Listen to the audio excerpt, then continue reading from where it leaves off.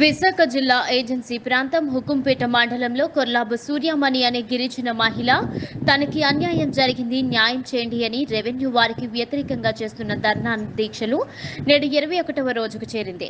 మహిళకి న్యాయం జరిగి తీరాలి అనే ఉద్దేశంతో మద్దతు ఇచ్చేవారు సంఖ్య రోజు రోజుకి పెరుగుతుంది.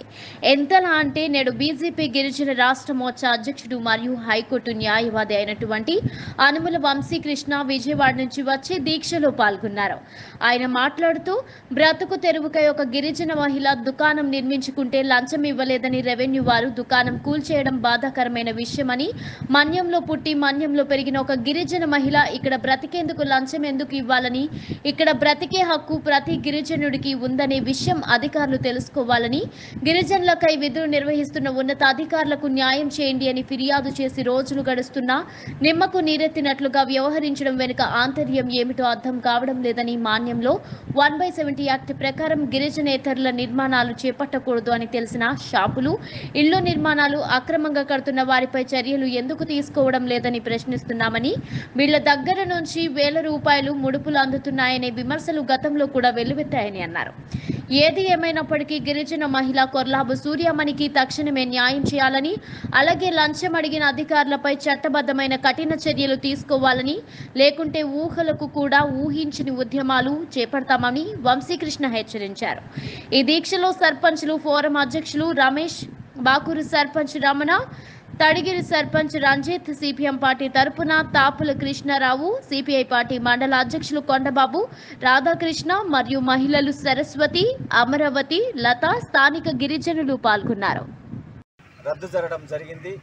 ఇలాంటి ఏజెన్సీ ప్రాంతంలో అనేక చట్టాలు ఉన్నప్పటికీ చట్టుబండలు చేసి చల్లని చెక్కుగా మార్చి నీటి మీద రాతలుగా రాస్తున్నటువంటి గిరిజనేతల అధికారులు ఒక గిరిజన మహిళ తనకు ఇచ్చినటువంటి అనుభవంలో ఉన్నటువంటి హక్కుగా ఉన్నటువంటి హక్కుపత్రం ఇచ్చినప్పటికీ షాపు పెట్టుకుంటే పంతొమ్మిది రోజుల క్రితం ఇక్కడ ఉంటే స్థానిక స్థానికంగా ఉంటే ఎంఆర్ఓ మరి షాపు కూల్చివేయటం జరిగింది.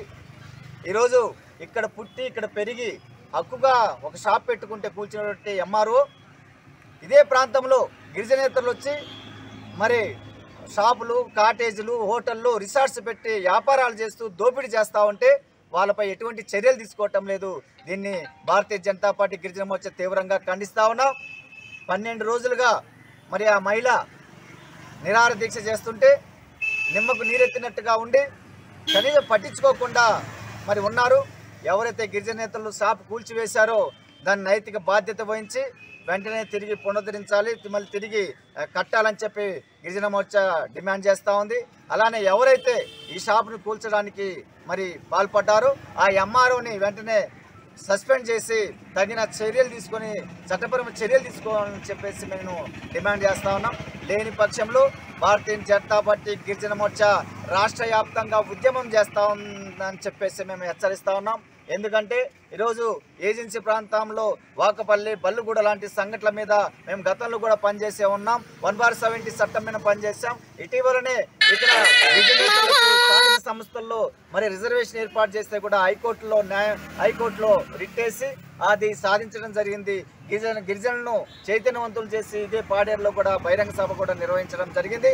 మేము గిరిజనులు ఎవరైతే అన్యాయం జరుగుతుందో అన్యాయం అన్యాయం జరిగే చోట ఎక్కడైతే వారి అన్యాయం జరుగుతూ ఉందో మేము ఒక గిరిజన మోర్చగా గిరిజన నాయకులుగా ఒక సామాజిక ఉద్యమకారులుగా మేము వాళ్ళకి అన్యాయం జరిగితే చూస్తూ ఊరుకునే ప్రసక్తి లేదు.